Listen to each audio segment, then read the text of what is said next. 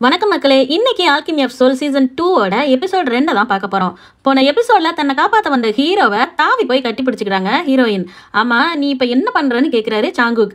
என்ன வேற எல்லாரும் தேடுறாங்க. நீ உன் மந்திர சக்தியை யூஸ் பண்ணி என்னை பறக்க வச்சு கூட்டிகிட்டு போயேன்னு சொல்கிறாங்க ஒன்றும் தேவையில்ல நீ நடந்து வான்னு சொல்லி கூட்டிகிட்டு போகிறாரு இந்த ட்ரெஸ்ஸு ரொம்ப கனமாக இருக்குது தெரியுமா? நடக்கவே முடியலன்னு இவங்க சினுங்குறாங்க. சரி ட்ரெஸ் எல்லாம் கலட்டுன்னு சொல்கிறாரு ஹீரோ அந்த பொண்ணு என்னதான் இன்னைக்கு நமக்கு கல்யாணம் நாளுனாலும் இந்த இடத்துல அவுக்க சொல்கிறது கொஞ்சம் ஓவராக இல்லைன்றாங்க. நடக்க முடியலையேன்னு மேலே கனமாக இருக்கிற ட்ரெஸ்ஸை கலட்ட சொன்னேன். மூளை கோளாறுனால தான் உன்னை உள்ளே வச்சுருந்தாங்களா? உண்மையை சொல்லுன்றாரு. எனக்கு எந்த ஞாபகம் இல்லைப்பா.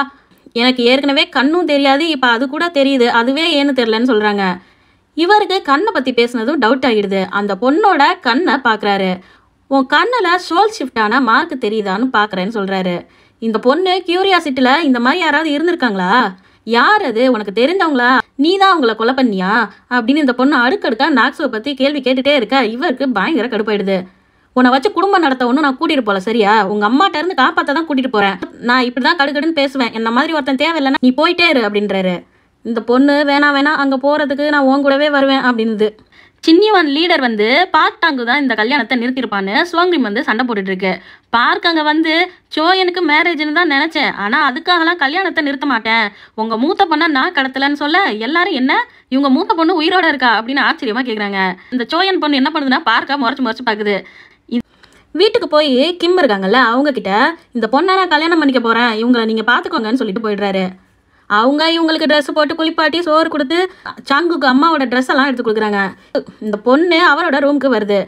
இங்கே எதுக்கு வந்த அப்படின்னு அவர் கேட்க நீ தான் உன் வீட்டில் சுதந்திரமாக என்ன வேணால் பண்ணிக்கலான்னு? அப்படின்னு சொல்லிட்டு அவரோட ட்ரிங்க்ஸை வாங்கி குடிக்குது. நீயும் குடி இதை குடிச்சிட்ட. இன்னைக்கு நம்ம ரெண்டு பேரும் கல்யாணம் பண்ணுற சடங்கெல்லாம் முடிச்சு கணவன் மனைவியாக ஆகிடுவோம். குடி குடி அப்படின்றாங்க. இவர் கொஞ்ச நேரம் யோசிச்சுட்டு இந்தா இந்த லைட் இருக்குல்ல? இது உங்கள் வீட்டில் இருந்து வந்த கிஃப்ட்டு உண்மையாகவே நீ ஜின் ஃபேமிலி சக்தியோட இருந்தினா இதை அணைச்சு காட்டு நான் உன்னை கல்யாணம் பண்ணுறேன் அப்படின்றாரு. அந்த பொண்ணு திரு திருன்னு முழிக்குது. ஆக்சுவலாக அந்த பொண்ணால் இப்போ எந்த பவரையும் யூஸ் பண்ண முடியல. என்ன முடியலையா? நீ எனக்கு உபயோகப்பட மாட்ட. காலையில் நீ எங்கே வேணால் கிளம்பி போயிட்டே இரு அப்படின்றாரு. நான் எங்கே வேணாலாம் போக முடியாது. இந்த கை காப்பு எங்கள் அம்மா கிட்டே நான் காட்டி கொடுத்துருன்னு சொல்கிறா அவர் அதை கலட்டி விட்டுறாரு. அதான் கை காப்பு கலண்டுருச்சு நான் இப்பயே போகிறேன் காலையில் வரைக்கும் எதுக்கு வெயிட் பண்ணணும் அப்படின்னு இந்த பொண்ணு வெளியில் கிளம்பி போயிடுது. அவர் எதுவுமே சொல்லாமல் அப்படியே நிற்கிறாரு இந்த லீடர் அம்மா மாஸ்டர் லீயை பார்க்க வருது. மாஸ்டர் அவளுக்கு ஞாபகம் எதுவும் வந்திருக்குமா அப்படின்னு கேட்டுட்டு இருக்கா. இவங்க ரெண்டு பேரும் எவ்வளோ ஃப்ராடுத்தனம் பண்ணியிருக்காங்க அப்படின்னா தண்ணியில் விழுந்த நாக்ஸுவை தூக்கிட்டு வந்து சாக போகிற இவளை குணமாக்கணும்னா நாக்ஸுவோட முழு சக்தியையும் உறிஞ்சி எடுத்து அவளோட உருவத்தை கொண்டு வருவோம். அப்போ அவளோட சோல் என்ன மாதிரி இருக்கோ அதே மாதிரி தான் முகமும் மாறும். ஆனால் போயனோட சோல் உள்ளதான் இருக்குது பின்னாடி போயன் அவள் சக்தியை உணர ஆரம்பிச்சானா நாக்ஸுக்கும் மெமரி திரும்ப வரும். பரவாயில்லையா? அப்படி மாஸ்டர் லீ கேட்க இந்த அம்மா என் பொண்ணு மட்டும் கிடைச்சா போதும். நாக்ஸு மூஞ்சி பார்த்துக்கிட்டு என் வாழ்நாளை கழிக்கிறேன் அப்படின்னுது. யாருடா நீங்கெல்லாம்?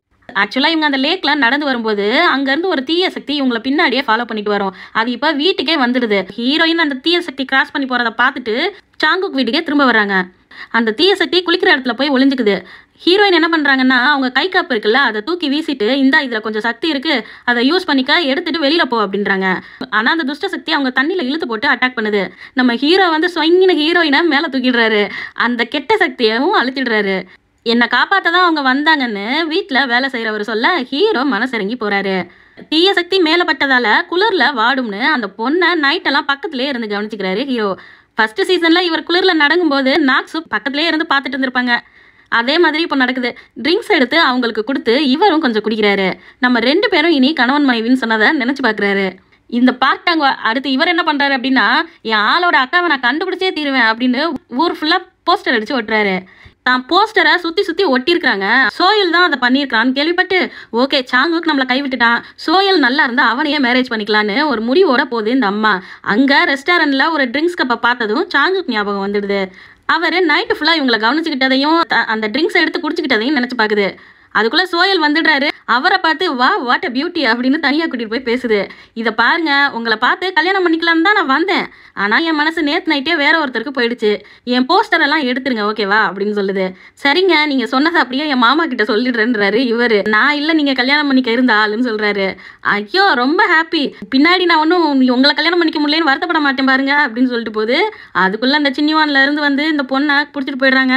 இந்த லீடரம்மா ஹீரோயினை பார்த்து பலர்னு ஒரு அறை விடுது. இந்த அறை யாருக்கு தெரியுமா? நாக்ஸுவுக்கு அப்புறம் மகளே அப்படின்னு கட்டி பிடிச்சிக்குது. சே யாருடா இந்த பொம்பளை? இனி நீ தப்பிக்கவே கூடாது அப்படின்ட்டு இன்னொரு மந்திர கயிறை முதுகில் வச்சு தக்கிது இந்த அம்மா. அடுத்த சீனில் போயனை பார்க்க வர சொல்லி மந்திரவாதிகள் சங்கத்திலேருந்து கூப்பிட்டாங்கன்னு கூட்டிகிட்டு போகுது இந்த அம்மா. போயிட்டு வந்ததும் இந்த வீடு தான் உனக்கு சரியா? அப்படின்னு முன்னாடியே சொல்லிடுறான் அந்த லீடர் பைத்தியம்.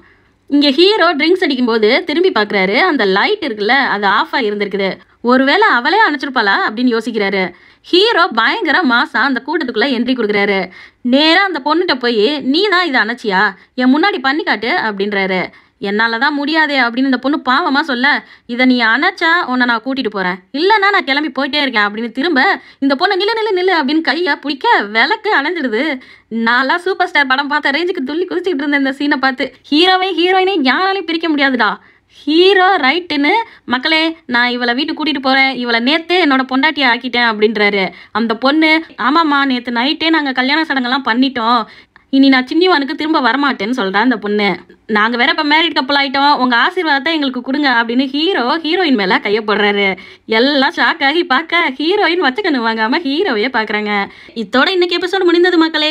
இந்த சேனலை சப்ஸ்கிரைப் பண்ணி வச்சுக்கோங்க. அடுத்த வாரம் மூணாவது நாலாவது எபிசோட பார்க்கலாம். அது வரைக்கும் பை பாய்